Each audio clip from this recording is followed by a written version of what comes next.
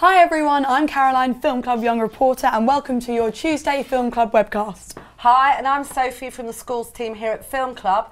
And at first, I just want to say a big hi to all the schools that are listening today um, Islington Arts and Media School, James Binley School, Catmouse College, Aldenham School, and Mayfield School, and one more, Castle Rock School. So, hello to all of you. Hi guys. And just a quick reminder if you want to send in any questions to Nick or to our other guest, Michaela, during the webcast, you can email, Twitter, or text. And along the bottom now, there should be a little rolling sign of, of all of those details. So, over to you, Caroline. Yeah, um, today we're looking at the topic of modern day slavery. Um, it's a really gripping and challenging issue which we should all be aware of. Um, with us in the studio today we have Michaela Alfred Kamara from the Anti Slavery Organisation. Hi, Michaela. Hello. And also we have celebrated filmmaker Nick Broomfield who's coming to us via Skype live from Los Angeles. Here by the end of the program. Hi, Nick. Well, thanks so much anyway. I know you're really busy out there in LA and um, you're in the middle of shooting your most recent film. So thanks very much for coming to speak to us here at Film Club.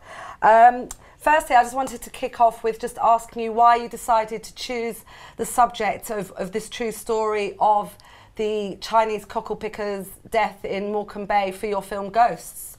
well, I, I remember sort of hearing it on the radio, you know, at the time when it happened, and thinking, what are all these Chinese doing in Morecambe Bay, and what's the story behind this? And then I just started doing a little bit of research. There's a great uh, journalist called Hsiao-Hung Pai who writes for The Guardian.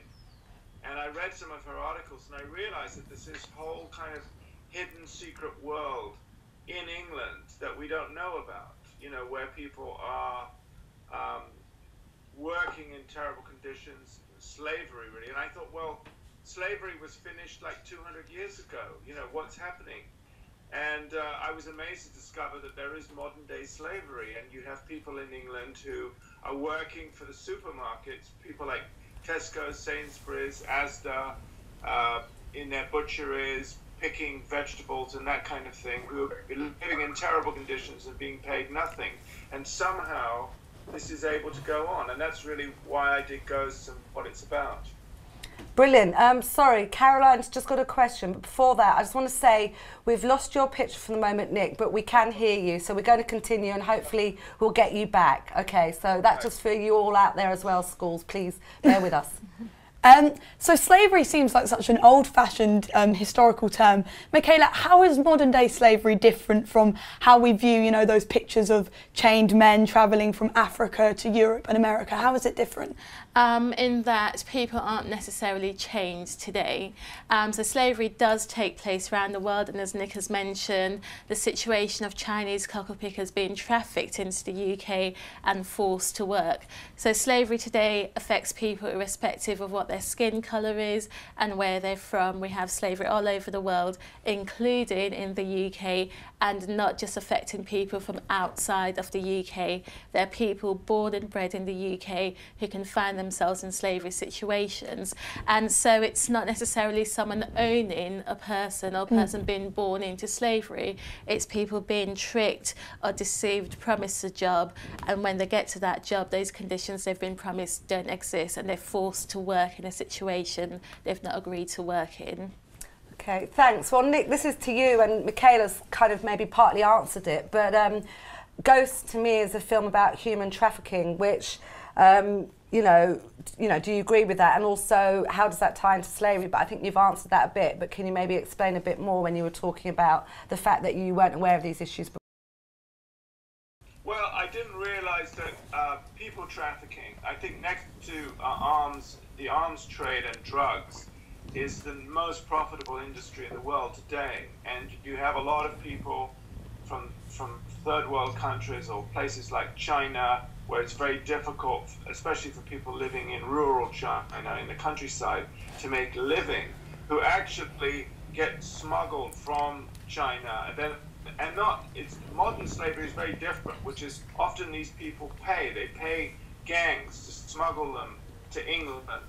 It might cost somebody fifteen thousand pounds, for example, to be smuggled to England, and that's what we see at the beginning of Ghost. We see um, our Ling being being smuggled to uh, the UK in the back of trucks and stuff, and she's paid fifteen thousand pounds for that. And she then is what's called indebted. She owes that money to the gang and to the money lenders, and her family back in China are held ransom until that money's paid off. So until that money's paid off, she'll literally have to do anything to make a regular income to send it back every week. And that's one of the conditions of, of slavery, really, which is that they have a debt. And sometimes this debt never gets paid off. And as you said, um, as you've shown in the film, Ai Qin is smuggled from rural China to the UK. And we actually have a clip of that now from Nick's film Ghosts, which is about the tragedy of 23 Chinese cockle pickers who actually drowned in Morecambe Bay. And we have this clip now of where Ai Qin is smuggled from rural China to the UK. 到了吗？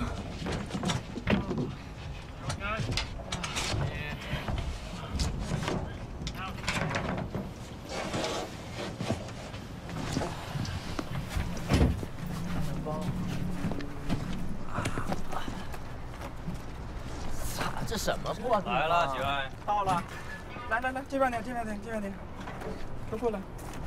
来呀！我们是接你们的，过来过来过来，别动，这边，往哪里去？这边。好了，正好正好，正好正好我们是接你们的。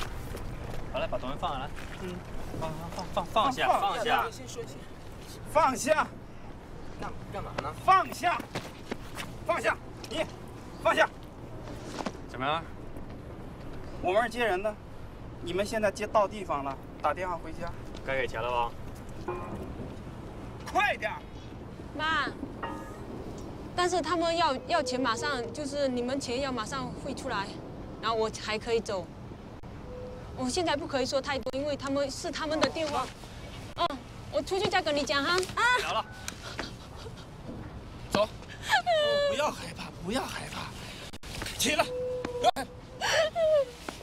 老实点儿，老实点儿，这样干什么？走，走，臭流量，走，听你呢。这，哎，老实点儿把那给我，把那给我。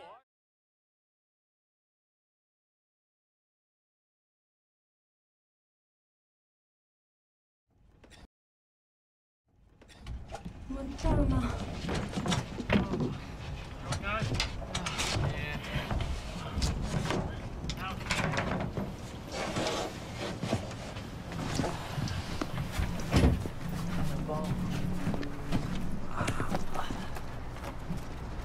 操，这什么破地方？来了，几位，到了，来来来，这边点，这边点，这边点，都过来。来呀！我们是接你们的，过来过来过来，别动，这边，往哪里去？这边。好了，正好正好，正好正好我们是接你们的。好来，把东西放下来，嗯，放放放放下，放下，放下，干干嘛呢？放下，放下，你放下。怎么样？我们是接人的，你们现在接到地方了，打电话回家，该给钱了吧？快点。妈，但是他们要要钱，马上就是你们钱要马上汇出来，然后我还可以走。我现在不可以说太多，因为他们是他们的电话。嗯，我出去再跟你讲哈。啊，聊了，走，不要害怕，不要害怕，起来，不要害怕。老实点儿，老实点儿，这样干什么？走，走，臭流量，走，听你呢。这，哎，老实点儿把那给我，把那给我。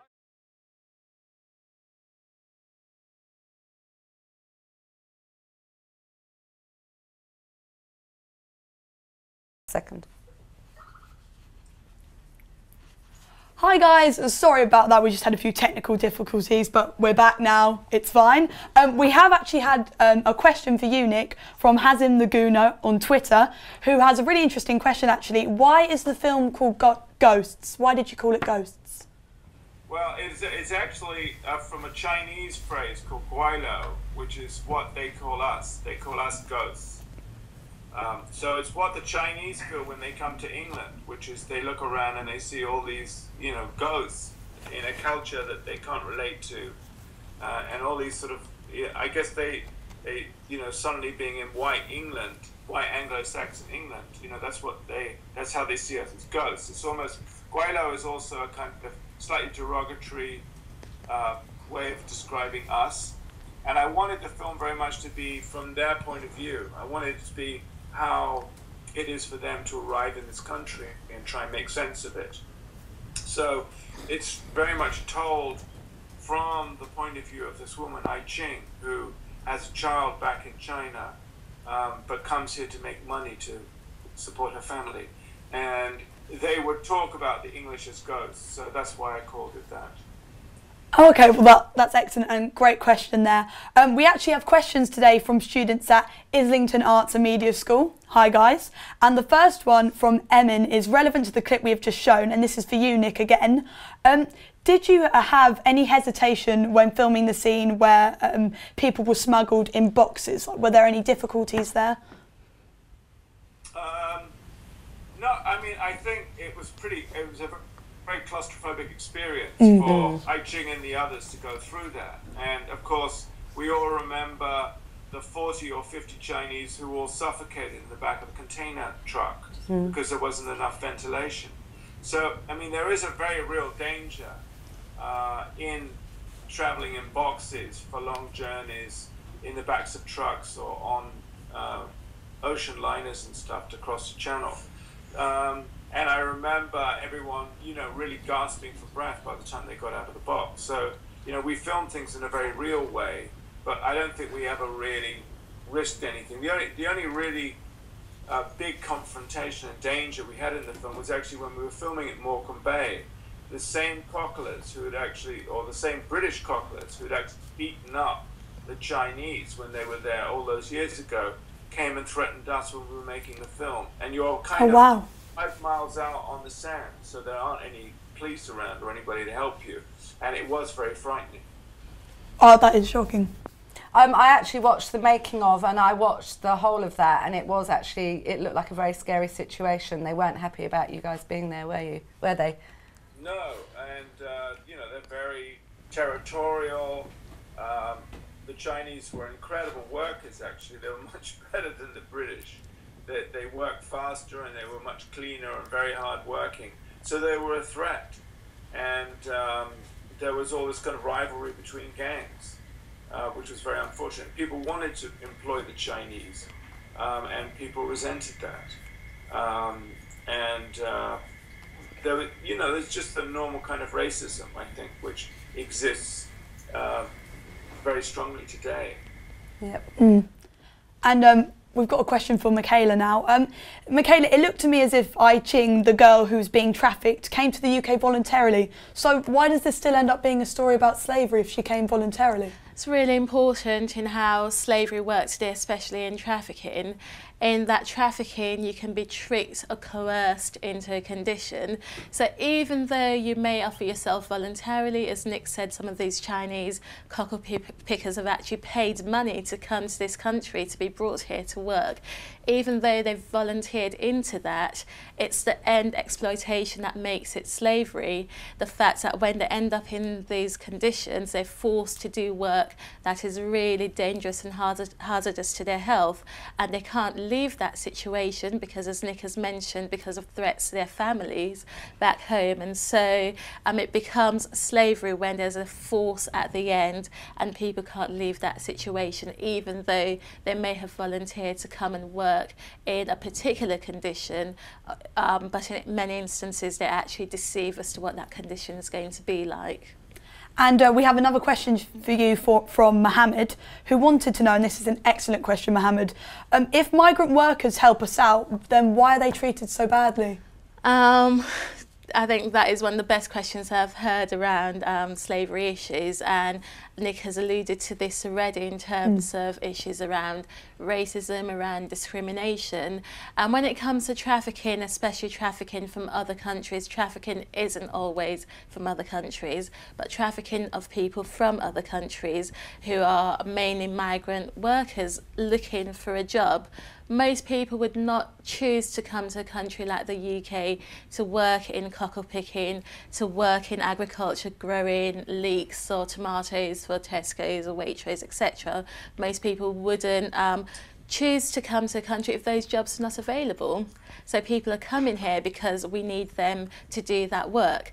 And so um, why they're treated so badly is because we don't have laws implemented. Mm. We do have laws to protect people who've been trafficked and exploited, but if they're not being implemented enough, i.e. if the government isn't putting enough resources for people to inspect these situations and people are very vulnerable to that situation continuing. I know after the film, Nick, um, the Gangmasters Licensing Authority was formed and that was in reaction to the Morecambe Bay disaster and that's supposed to look into um, giving license businesses um, to people who work in the um, agriculture field, in the fisheries industry, so that they're not using trafficked people in mm. that work. And also so that they're not, you know, there was something about irregular workers yeah. and the fact that mm. irregular workers, and Nick, that was brought up in the making of Ghosts as well, I saw, mm. um, of them having actually no working rights at all. Mm. But I think we need to move on to probably the clip, the second clip yep. now, Nick and Michaela. Definitely. Um, we have another clip from Nick's film Ghosts, and in this clip, it's interesting to see, like what we were talking about, how easily Ai Qin can be manipulated.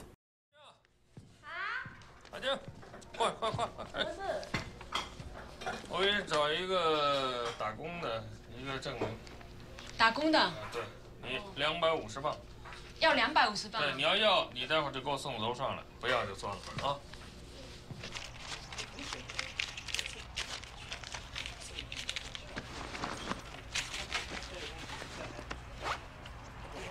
可以啊。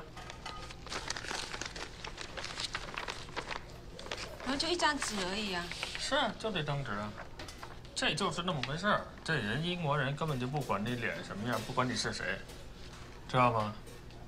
这照脸这么圆，根本都不像我。这这没没没事儿，你就拿着它，你就用，没事儿，听我的，知道吗？名字也不一样。哎呀，生日日期也不是我的。我跟你说啊，这还是我便宜卖给你的呢，你知道吗？我花五百块钱买的，我才卖你两百五，对不对？你要不是说做我女朋友，我能给你吗